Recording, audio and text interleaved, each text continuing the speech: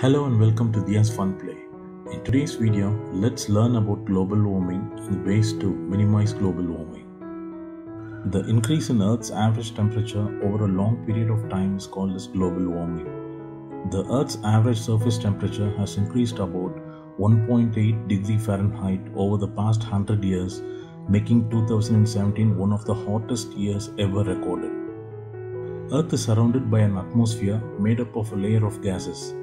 When sunlight enters the atmosphere, some of the sun's heat is trapped by the gases while the remaining heat escapes into the atmosphere. The trapped heat keeps Earth warm enough for us to live. The excess burning of fossil fuels nowadays releases a lot of carbon dioxide and other pollutants into the atmosphere. This excess carbon dioxide and other pollutants traps excess heat that would otherwise escape Earth's atmosphere, resulting in a rise in Earth's temperature. This increase in Earth's average temperature leads to climatic change.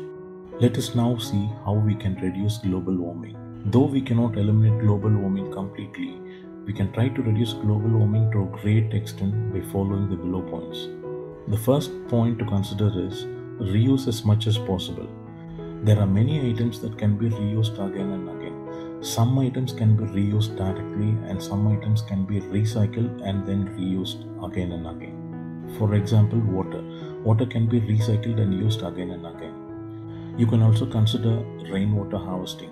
Harvested rainwater can be used for flushing toilets in your home or watering the plants in your garden. And items like glass jars, glass containers, plastic bottles, and other plastic containers, newspapers, magazines, paper bags, clothes, towels, plastic bags, etc., can be reused again and again. Plastic bottles and plastic bags are the two main items that pollute our land and the oceans. So these items can be reused again and again. Try to reuse plastic bottles and plastic bags as much as you can. Unplug your computer, laptop, and mobile chargers when not in use. Switch off your lights, air conditioners if it's not necessary. A television that remains in standby mode for a long duration can consume a lot of electricity. And try not to stuff unwanted items into your refrigerator.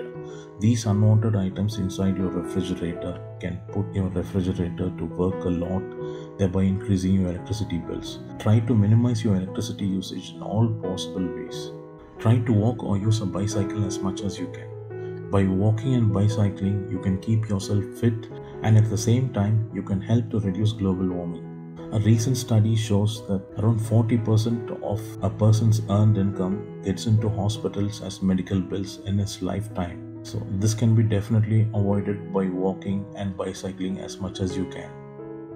Instead of using a dryer, hang up and dry your clothes in the sun and save energy. You can also consider solar power options or wind power options for your home electricity needs. Spread the word to others about global warming and educate them about what to do and what not to do to reduce global warming. Did you know that the sea levels are rising drastically day by day due to climatic change and global warming? You will have to know about glaciers if you want to try to understand the rise in sea levels.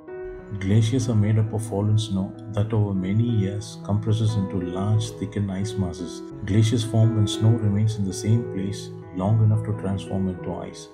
Due to its sheer mass, glaciers have the ability to move and flow like very slow rivers. Some glaciers are small in the size of football fields, while others grow to be hundreds of kilometers long. When the Earth's temperature rises and ice melts, more water flows to the seas from glaciers and ice caps, and the ocean water warms and expands in volume. This has resulted in raising sea level between 4 and 8 inches in the past 100 years.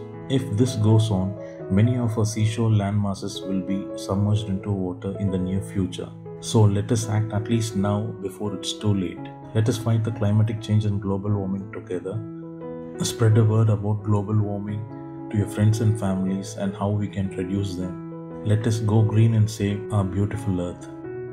Thanks for watching Diya's Fun Play. See you in the next video. Subscribe for more videos. Why not subscribe right here, right now. Don't forget, press the bell icon. The choice is yours.